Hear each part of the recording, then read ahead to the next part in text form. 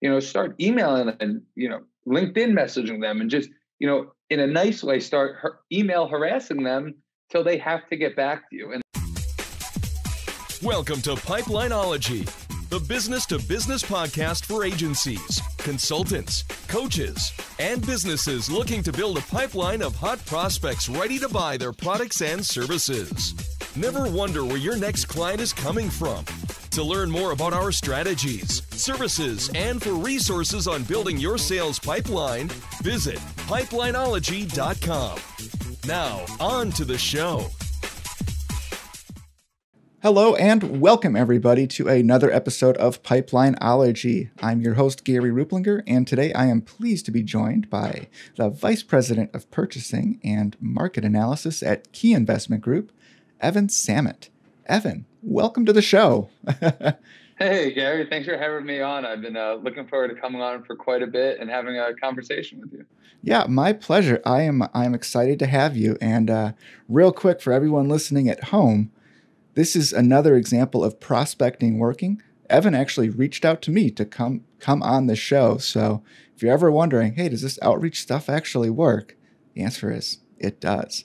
Anyway, sorry for that tangent, Evan. So uh, I'm excited for our conversation today. And um, for anybody who's not familiar with you, could you just share a little bit about your background and a little bit about your story?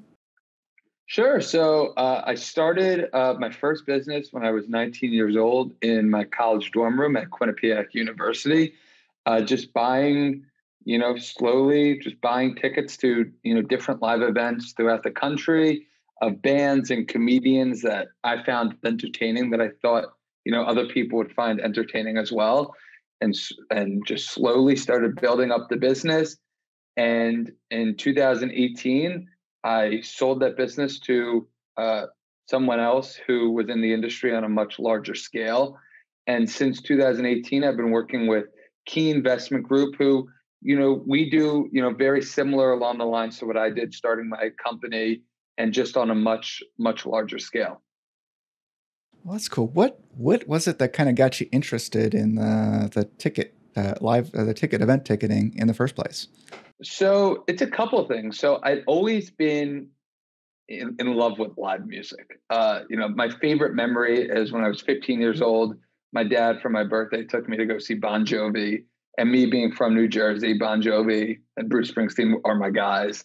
And I just, you know, remember being there and it was just, you know, wild. It was almost one of those things where I got so excited that you know everything in a sense became a blur because I was just over the moon. And I'd always wanted to you know start a business and I always thought what's better than you know starting a business and something that you're incredibly passionate in? And I realized with live music and live entertainment that people were buying albums less where you listen to bands even Bon Jovi for example in the 1980s you know Slippery When Wet Appetite for Destruction Guns N' Roses those albums would sell 20, 25 million copies, and bands could get by on just selling albums. But nowadays, you know, back in 2013 and even more prevalent today, you know, there are no music album sales. You know, the top album of the year might sell a million copies. And that's probably only if it's Taylor Swift or Lady Gaga or something along those lines. So, and then I realized that there was social media was just becoming bigger.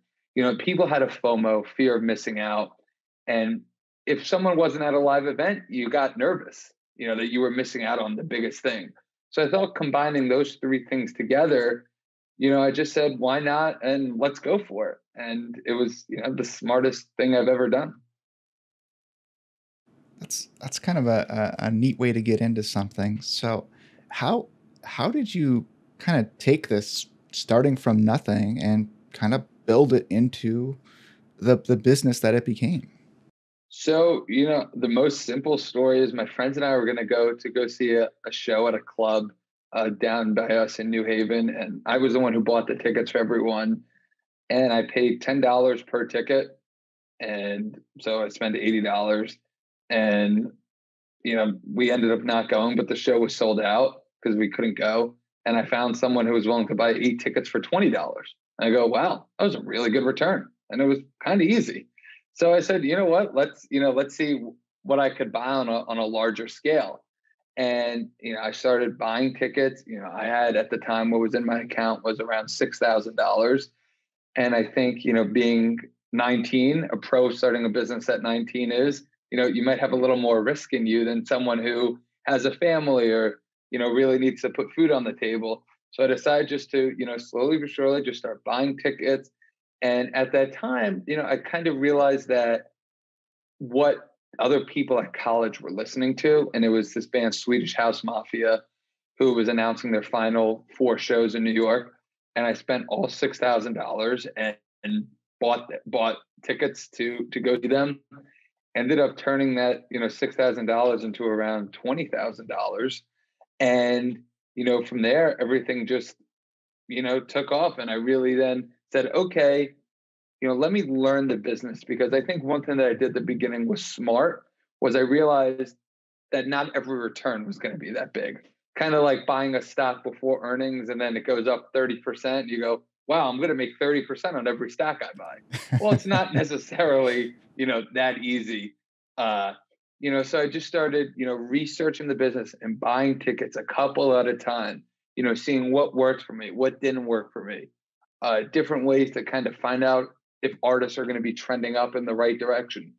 Dip my toe into comedy shows, dip my toe into sports, dip my toe into Broadway, and really just start grinding and starting to learn as much about the business as I can because I really had no, you know, no experience in the field whatsoever. You know, I, I love listening to, you know, people's origin stories and how they got started. And I'll I'll tell you one of the commonalities that I pretty much hear every time is that they they just went out and do something. I, I don't ever hear anybody tell me that, well, you know, I, I wanted to do this for a few years. So I, I, I read, you know, I read books and I took webinars and, and I, I didn't really take any action. Um, it, it, just magically happened. No, ev- everybody, everybody tells me, no, I just, I just started doing something and built from there. You know, it's very interesting you say that too, because I know there's a debate about, you know, going to college and, you know, it's college, and there was a lot I learned about in college, but there was, you know, no ticket selling 101 or, you know, artist, you know, and I'm sure there's music 101, but there was no class that would tell me, you know, how to start this up. There are things that, you know, they advise you when starting a business, but sometimes the best way to do it is just to just go for it. Especially, and, you know, I have, you know, my family friends who have kids, you know, 18, 19, 20 years old. Like, what should I do? You know, I'm not really getting the same education, you know, not being in the classroom per se.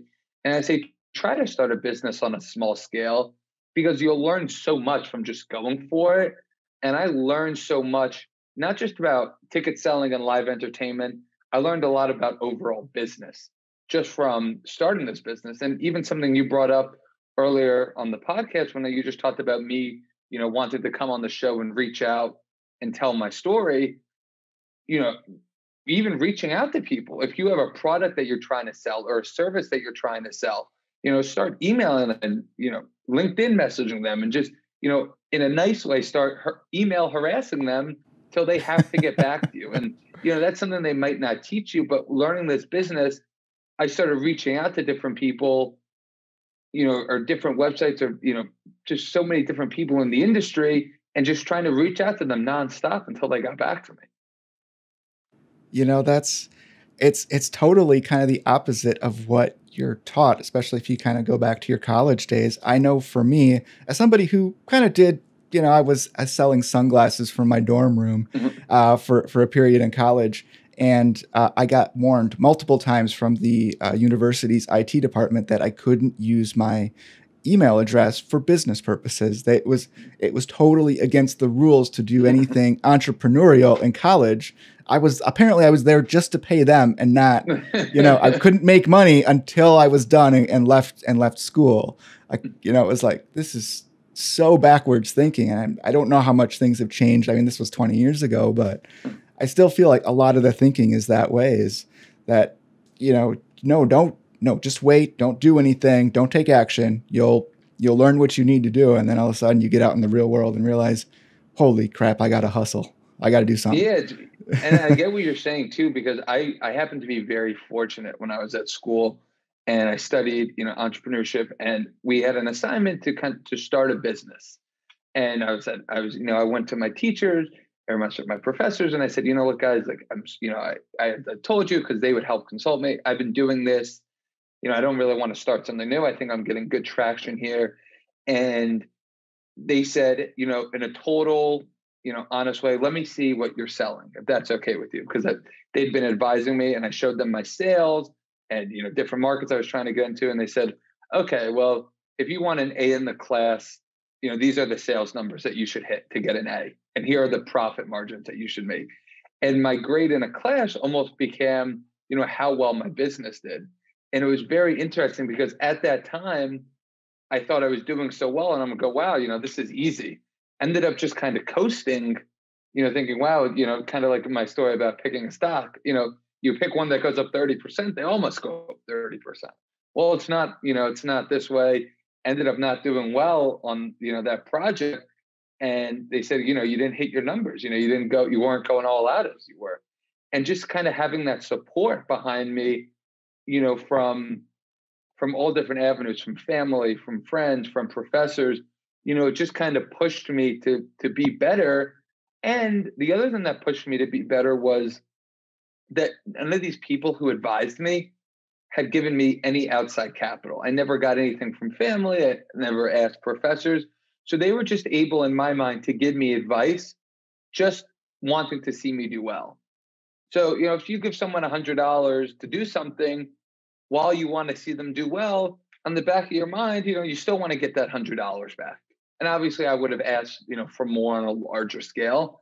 But once you owe someone a financial debt, are they advising you to you know see your business do better? Are they advising you to see a quick way to get your money back? And not having taken any outside capital i just felt people were advising me just because they wanted to see me do well because i was a good guy. And you know not not taking that you know really you know held me to kind of figure things out on my own and not really have any bailout options.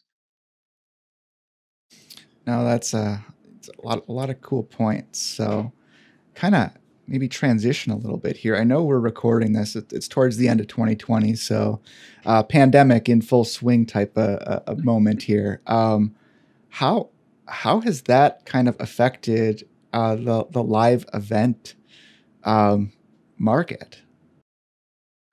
Well, you know, it's it's a shame because the live entertainment market just got killed and, you know, from COVID, I know, you know, from February of 2020 to April of 2020, the company where I work at now, Key Investment Group, our sales dropped by 98 to 99%, oh you know, in a two month period.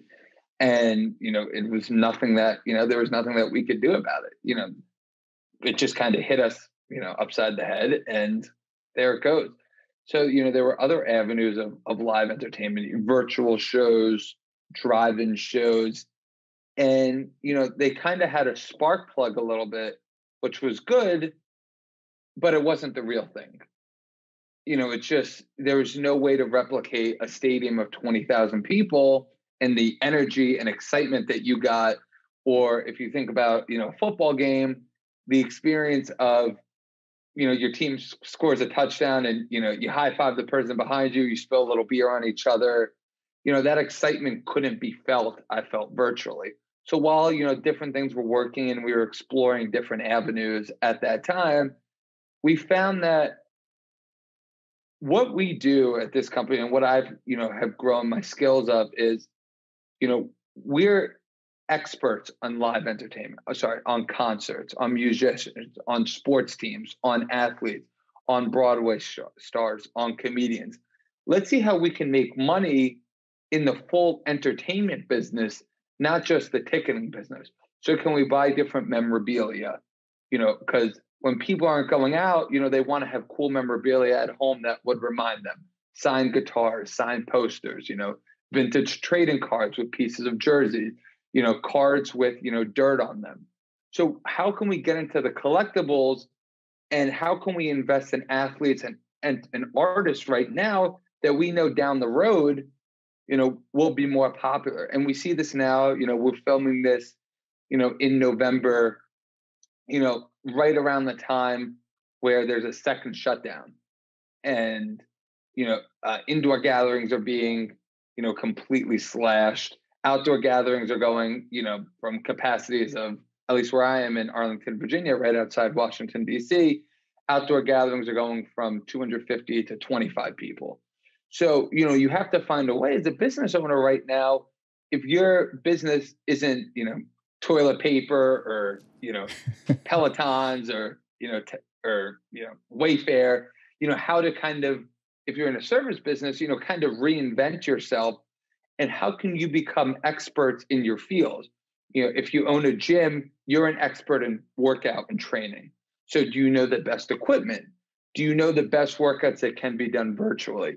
is there you know manuals that you can send so you know when you know there is a shutdown or there's a reluctance to go from zero to 100 back into full speed you know how can your business still make money and how can you become multidimensional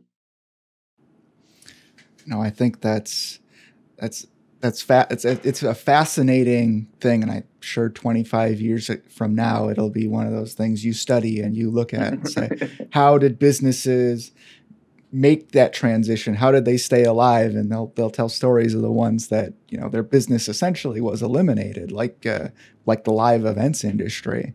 And they'll they'll tell those stories but right now living through it is uh, is not nearly as fun as it will be to say, oh yeah, you know, it'll be a, a, an interesting curiosity. Whereas for those of us who, who are living through it, it's uh, a little more challenging than that. yeah, and I, and I think one thing too that you know I wish you know that we could have done a little differently is you know sometimes you know they say you know sometimes people are at their best when their backs are against the wall, and that is completely true for certain people. But at other times sometimes when you come are coming up with a business out of necessity because your first business has gone down, sometimes you're not thinking as rational as you would be, you know, when things are going well. So even if you don't think your business needs a backup plan today, you know, right now is a perfect time to start thinking of other alternative ways that you can make money. So if there is, you know, ever a hit to your current business, uh, you know, while you know you can pivot to these other businesses and they're well thought out. And when everyone else is thinking of a way to pivot uh, you know you've already thought of a way and you're in a sense ahead of your competition and you thought with, with a much clearer mind. I think that's a that's a really smart thing. So what what would you say has kind of been maybe your number one or maybe your top three takeaways and, and pivots that you've you've had to do uh, with with your current role Huh. So, you know, the first thing that I learned in, you know, in, in doing this was, you know, if the opportunity is not there, don't force it. So, you know, what we tried to do is we said, you know, again, at the beginning, like I explained, you know, we're a ticket company. And, you know, so we started saying, okay, well, you know, if tickets to live entertainment sell, tickets to virtual shows and to drive-in shows, you know, they'll be just as good. But you know, we knew that the experience wasn't the same. So why would the tickets mark up for as much? So, you know, we tried to force so much, you know, into saying we're tickets, we're tickets, we're tickets, that, you know, we shouldn't have been buying tickets and expecting the same result, which I think, you know, was was our mistake. The second thing I took I took away was when things are going well, don't just keep riding the roller coaster. So you know, everything for us was going so perfectly that I never truly sat back and thought about, sorry, I never truly sat back and analyzed the business. My best three months in my role and our overall company's best three months were December 2020, sorry, December 2019, January 2020, February 2020. And we were just going, you know, just straight diagonal up. But, you know, we could have been doing better. You know, there could have been different avenues or shows. I started buying, you know, tickets to events that only had 5% upside. You know, I could have deployed that capital elsewhere. So one thing I learned is, you know, always be analyzing your business, even when you're making money, because you could be making more money, you know, if you, you know, maybe shift out of a business that's making a little bit of money and double down on what your you know true gold moneymaker is. And I think the third thing I've learned is hmm, I don't want to sound pessimistic here, but never take anything for granted. You know, and always keep working as if your business is going to get taken away from you because I've experienced firsthand my business getting purely, you know, swept under the rug. So when you're having your successes, celebrate them. You know, if you're having your failures at a certain time, you know, learn from those too.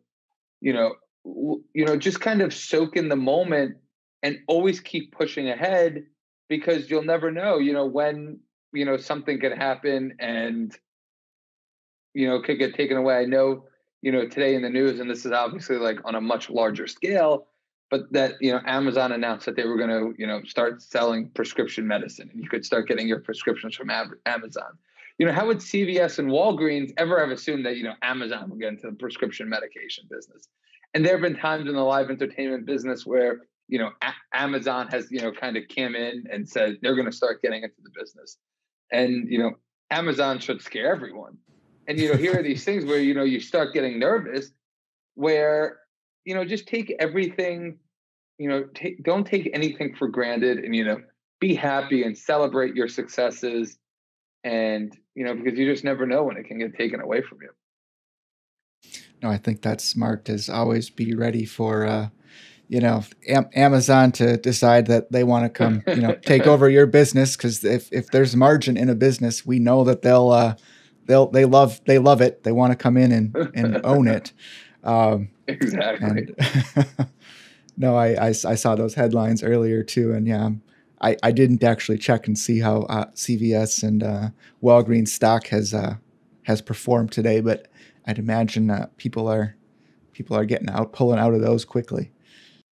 Yeah, and you know, and as we said, and you know, they obviously have huge departments, but the same way CVS, you know, you you viewed them as a medicine company, and then you know, you walk into a CVS you can pick up your prescriptions and you know buy Listerine and toothbrush or sorry toothpaste and shampoo and you know you can go in and look to spend five dollars on a prescription and you know you just spent thirty dollars on household items. You know that was kind of their way of you know pivoting the business. And now if you know you know maybe their you know sales take a hit here, you know there's they'll still be able to sell other items. And you know especially small businesses who rely you know, who aren't able to scale as bigly as sorry as large, you know, just keep having other avenues of business in what you're an expert in. No, I think that's smart because you never. I mean, you never know who's. I mean, who's con- who's gunning for you? Who's uh, who's coming to take away? You know, your your primary thing. What what else are you going to do? What uh, right? It doesn't matter if it's COVID or if it's Amazon or uh, you know if it's Tesla coming for you know whoever you know there's there's always somebody looking especially at least in here in america it's like we're a country of disruptors and if you're the old guard there's always somebody looking to to come for you. I think uh, i know having worked in automotive at car dealerships they're they're like the quintessential old guard type of product you know type of service where you have to buy your car from a dealership. It's going to be a miserable experience. You'd rather have a root canal but it's the only way you can do it. and they they've been surprisingly resilient to disruption, but it's it's coming. It's coming slowly, and you're but you're starting to see some of those those cracks now, even in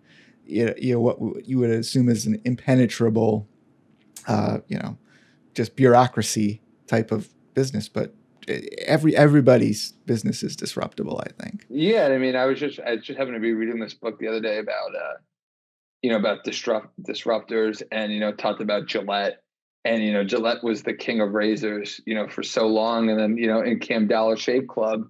And they said, oh, don't worry about it. Don't worry about it. You know, this, and I'm sure, you know, some of the car companies kind of felt that way with Carvana, you yeah. know, coming in and, you know, kind of when you think, you know, when you think you're just doing well, and I'm, you know, I'm sure Gillette and, you know, at the time was, you know, still doing well and still having but they didn't take time to you know sit back and you know analyze the business and didn't take Dollar Shave Club seriously, and you know ultimately they paid a price. Now, obviously, you know Gillette's still doing fine, but I wonder now, you know, they probably say people are, you know, it'd be interesting, you know, talk about Gillette. you know, people are going out and shaving less because you don't have to shave every day to go to go, go to work. You know, people are growing beards, you know, nonstop. You know, there's a company like Gillette, you know, get into the beard oil space or, you know, get into, you know, maybe facial hair grooming, not just, you know, clean shaves. So, you know, it's every company of every size, no matter what, always, you know, should be sitting back and, you know, analyzing their business and analyzing what they're experts in. If Gillette, you know, considers themselves experts in facial care, you know, what other facial care, you know, products or missions can they get into? I think that's that's smart. I'm uh, definitely this has definitely been a fun a fun fascinating conversation. What what else should I be asking you? What else do you want to tell people? uh, I mean, I guess you could give. the good thing is I've been told I could talk all day, so I guess if you you keep asking them, I'll just keep answering. cool. Uh, well, I think that's probably then a, a, kind of a good place to kind of wrap this up. Um, if there's anybody who's kind of interested in learning more about you, what you guys are up to, where should we point them? I would say the best way to reach out to me is is on LinkedIn. Uh, you can find me first name Evan E V A N, last name Samet S A M E T.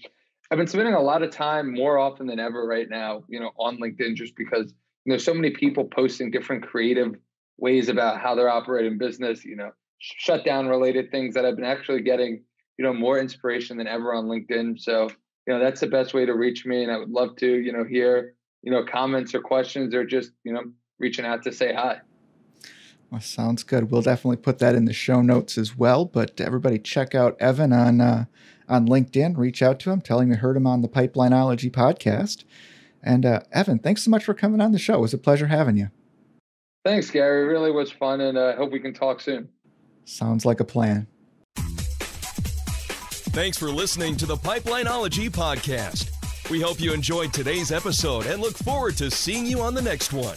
If you enjoyed this episode, please consider giving us a review on iTunes, Spotify, or wherever you listen to podcasts.